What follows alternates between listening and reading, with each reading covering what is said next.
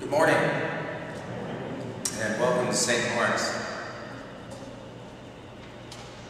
For our friends and members who continue to choose to worship with us by way of video, please note that our worship is a video recording of Sunday morning worship and is not a live stream. The bulletin for this service can be found on our Facebook. Please remember to participate in worship this morning following the guidelines of our safety committee, the most important of which are to wear a mask and to practice social distancing. Concerning Governor Wolf's latest mandate, St. Mark's will continue in-person worship with our guidelines in place, but will proceed with caution. This is the recommendation of our church council as well as our synod office. Our bulletins, again, look a little different this morning because of Bernadette's illness not being able to be in the church office. They have been prepared and printed by Christ Lutheran Church in Lewisburg. Also, there is a typo that we noticed at the first service. It has to do with our first hymn. It is to be, You are the seed that will grow a new sprout, and not You are the seed that will grow a new sprout. And wanted to point that out to you. The lion for August will also look a little different.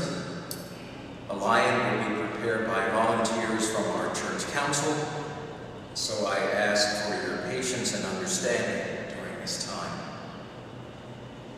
We express appreciation to Gary Weber, Bernadette Jones, Tim Vasey, Nabelle Davison, Sam Robinson, Ray Huff, and Sadie Wentzel for their expertise, leadership, and encouragement in filming video and planning worship.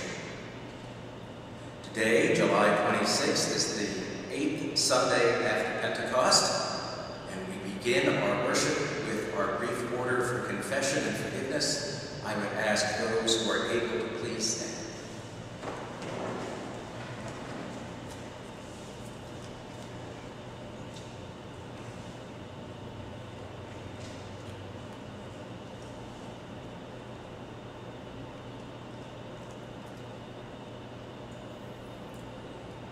In the name of the Father, and of the Son, and of the Holy Spirit.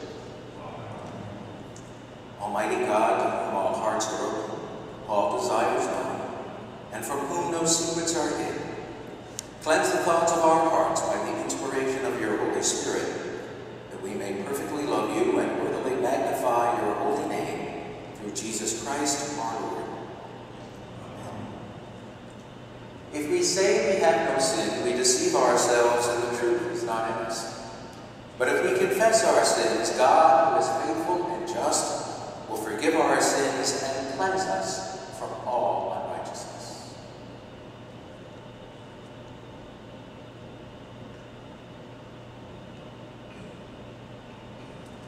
Most merciful God, we confess that we are in bondage to sin and cannot free ourselves. We have sinned against you in thought, word, and deed, by what we have done and by what we have left undone. We have not loved you with our whole heart. We have not loved our neighbors as ourselves. For the sake of your Son, Jesus Christ, have mercy on us. Forgive us, renew us, and lead us, so that we may delight in your will and walk in your ways to the glory of your holy name. Amen.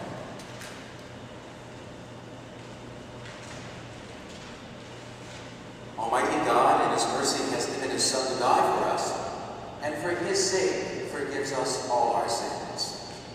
As a called and ordained minister of the Church of Christ, and by his authority, I therefore declare to you the entire forgiveness of all your sins, in the name of the Father, and of the Son, and of the Holy Spirit. Amen. Let us pray.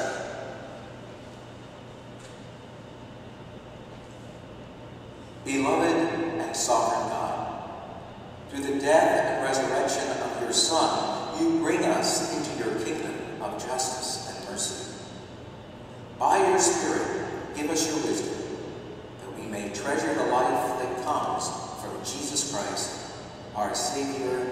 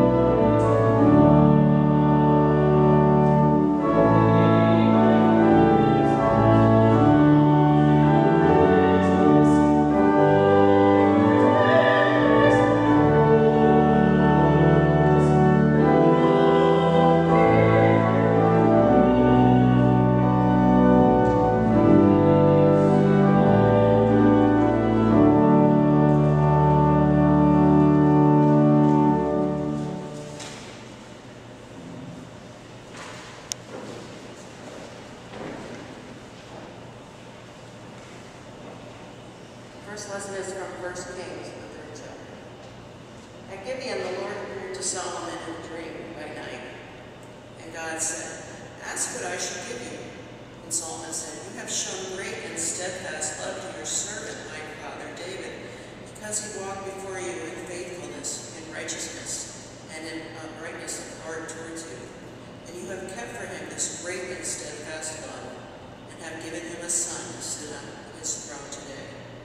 And now, O Lord my God, you have made your servant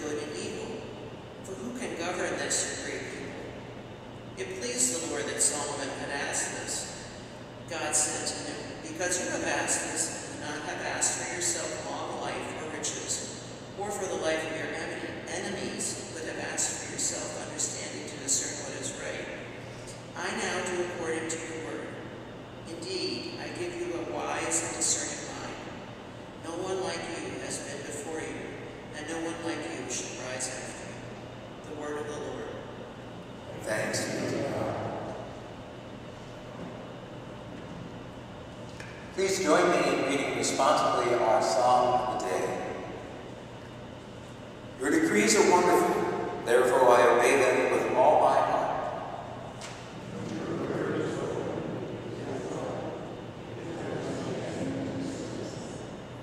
I open my mouth and pant because I long for your commandments.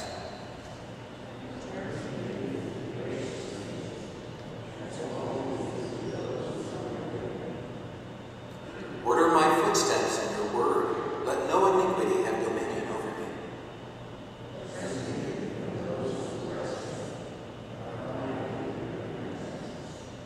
Let your face shine upon your servant and teach me your statutes.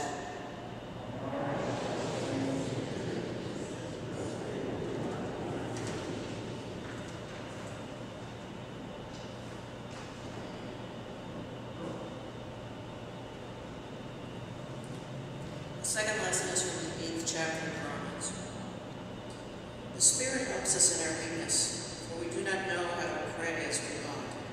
But the very Spirit intercedes besides too deep for words. And God, who searches the heart, knows what is the mind of the Spirit, because the Spirit intercedes for the saints according to the will of God. We know that all things work together for good for those who love God, who are called according for this purpose. For those whom he foreknew, he also predestined to be conformed to the image of his Son, in order that he might be the firstborn within a large family. And those whom he predestined, he also called. And those whom he called, he also justified. And those whom he justified, he also glorified. What then are we to say about these things? If God is for us, who is against us? He who did not withhold his own Son, but gave him up for all of us, will he not with him also give us everything else? Who will bring any charge against God's elect? It is God who justifies. Who is to condemn? It is Jesus Christ who died, yes, who was raised, who is at the right hand of God, who indeed intercedes for us. Who will separate us from the love of Christ? Will hardship, or distress, or persecution, or famine, or nakedness, or peril, or sword? As it is written, For your sake we are being killed all day long. We are accounted as sheep to be slaughtered. No, in all these things we are more than conquerors through him who loved us.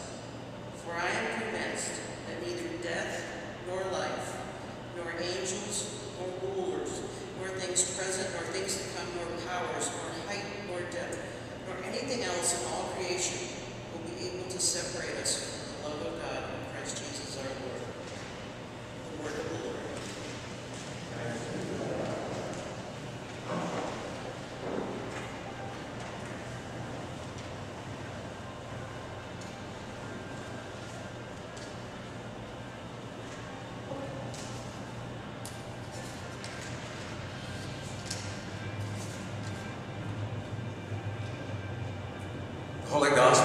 to say Matthew 13,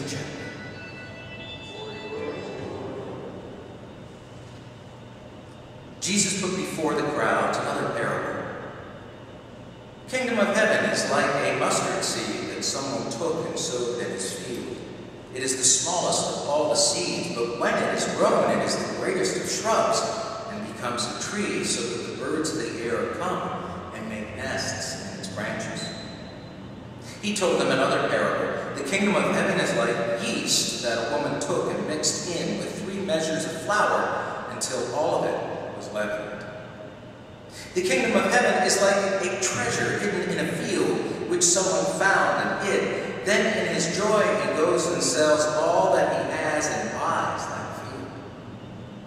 Again, the kingdom of heaven is like a merchant in search of fine pearls. On finding one pearl of great value, he went and sold all that he had and bought it. Again, the kingdom of heaven is like a net that was thrown into the sea and caught fish of every kind.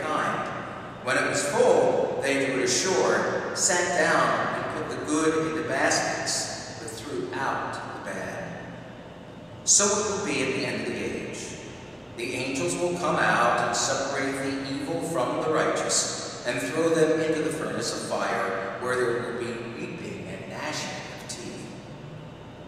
Have you understood all this? They answered, Yes. And he said to them, Therefore every scribe who has been trained for the kingdom of heaven is like the master of a household who brings out of his treasure what is new and what is old. The Gospel of the Lord.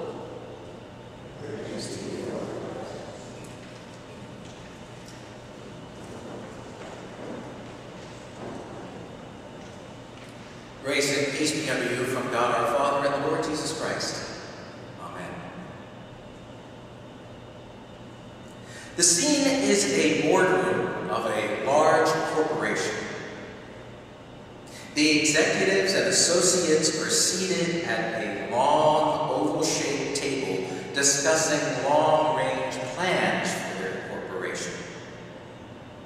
There was a strong feeling among everyone that the company needed to come up with an innovative idea to move the business forward so that it could recoup some of its losses. Was suggested that what was needed was a very small, simple idea which could grow into a multi-million dollar one. The oldest and most respected member of the board said, how about this? We open one store, but we make it worldwide. We pour everything into that one store so that people identify with it. That could work, said the director of marketing. Look what it did for McDonald's, Starbucks, Microsoft. That's true, Carol commented. Little ideas can have mammoth results.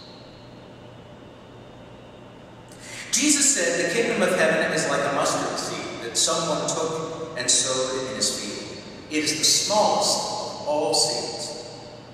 But when it's grown, it is the greatest of shrubs and becomes a tree, so that the birds of the air come and make nests in its branches. The parable that Jesus tells, and the story that I shared at the beginning by the late Reverend Dr. Joe Faulkner, a one-time sociologist at Penn State, is the same tale. The meaning is identical, only the details are different. Remember the television show Dragnet? The story you have just seen is true. The names were changed to protect the innocent. You don't need to tell an agricultural story to correctly interpret the meaning of Jesus' parable. The meaning of the story is not exclusive to plants and shrubs.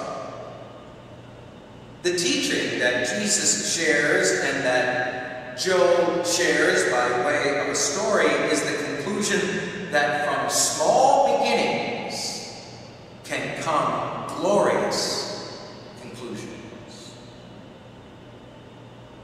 That's often hard for us to grasp.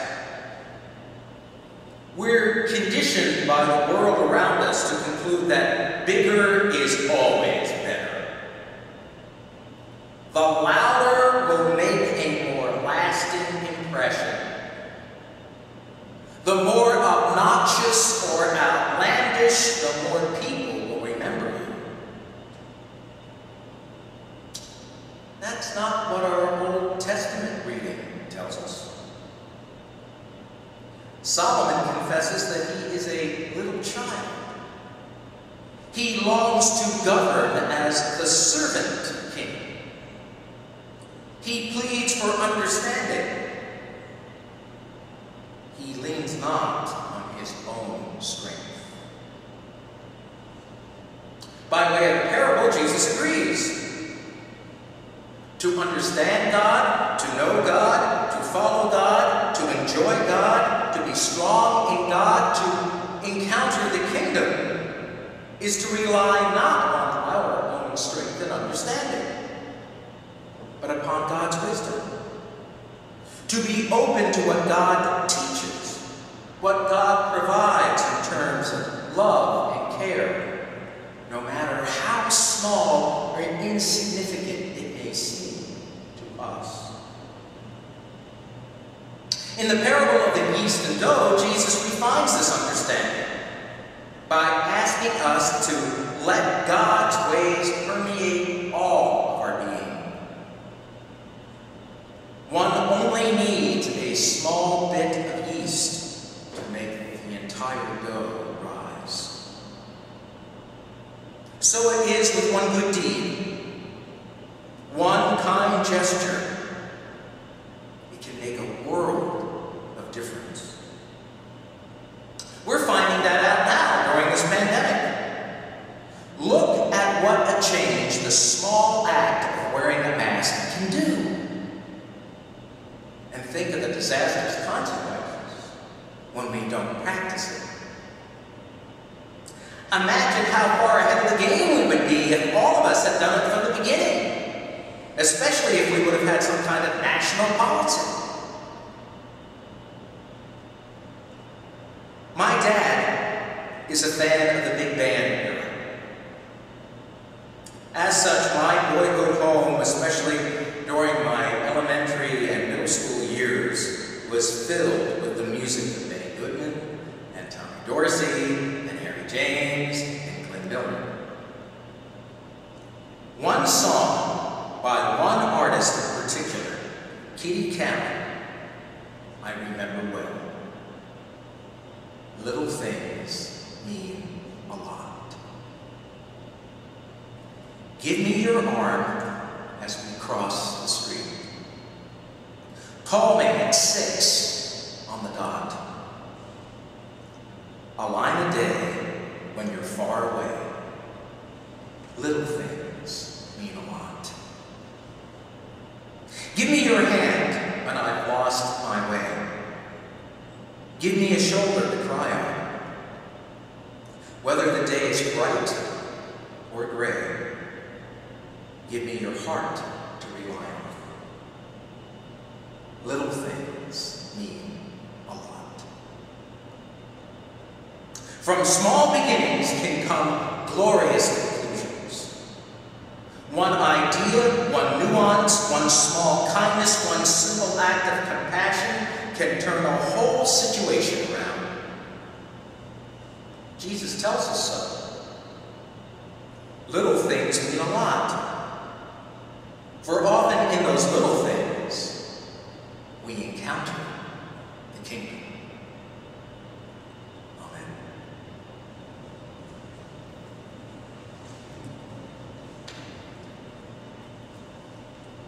Living together in trust and hope, I ask you to please stand as we affirm our faith.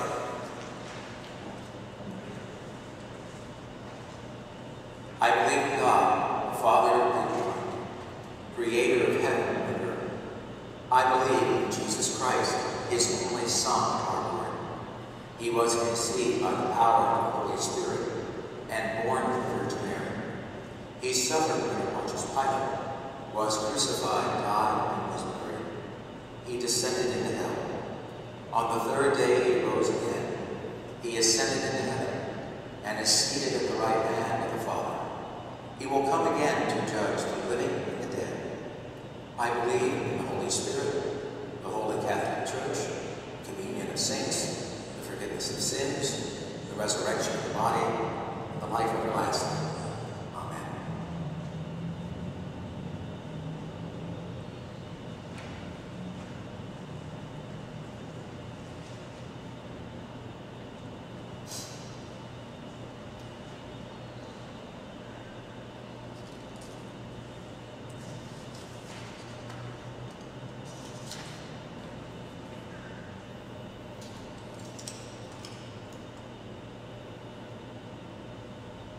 Confident of our Lord's care and helped by the Holy Spirit, we pray for the church,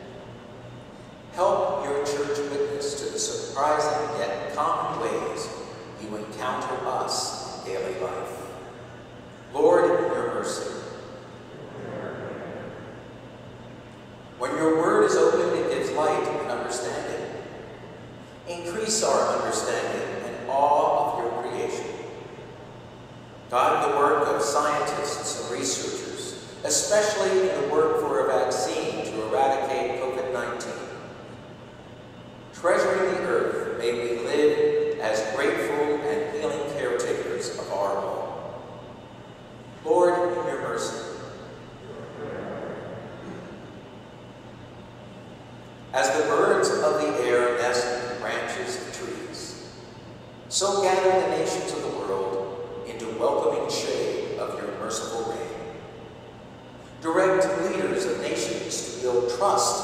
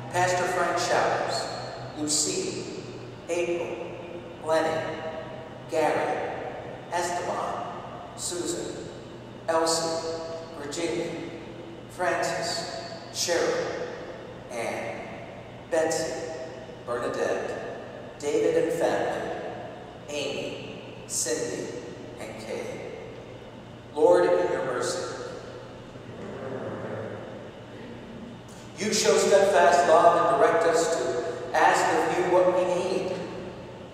Help this congregation ask boldly for what is most needed. Refresh us with the new dreams of being your people in this place and time.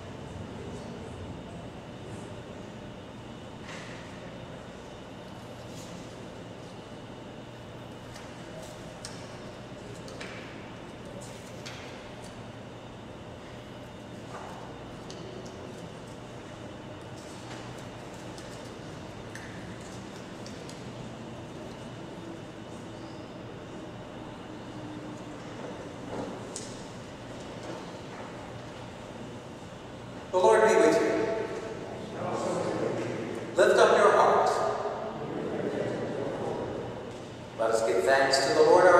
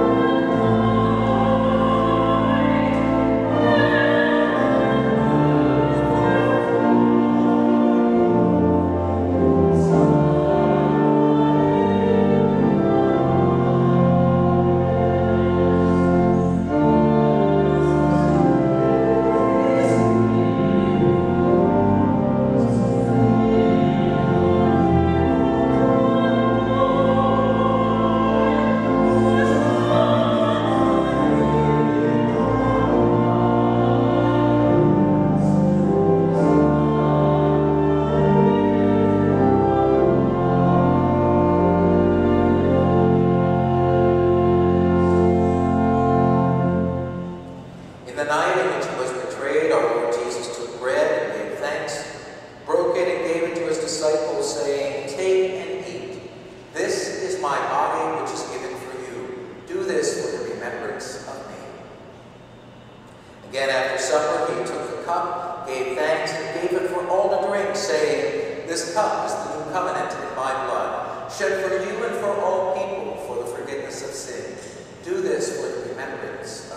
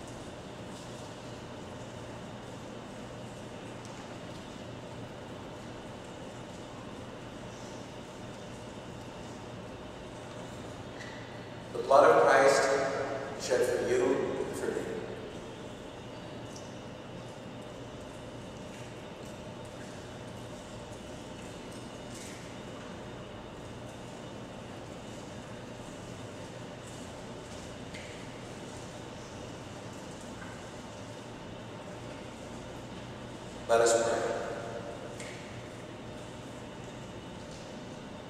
God of the welcome table, in this meal we have feasted on your goodness and have been united by your presence among us.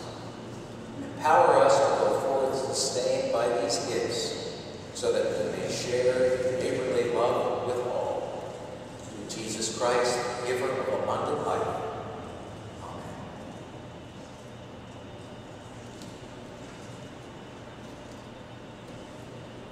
A gentle reminder that as you leave, to please follow our exit procedure and to leave by way of that door on my right, which is on your left, um, to place your offering in the basket that is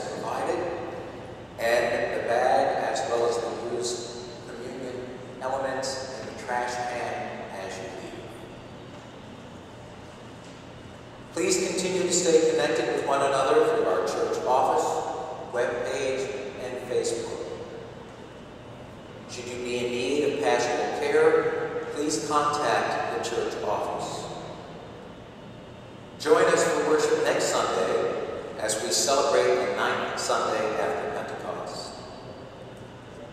Receive now our blessing.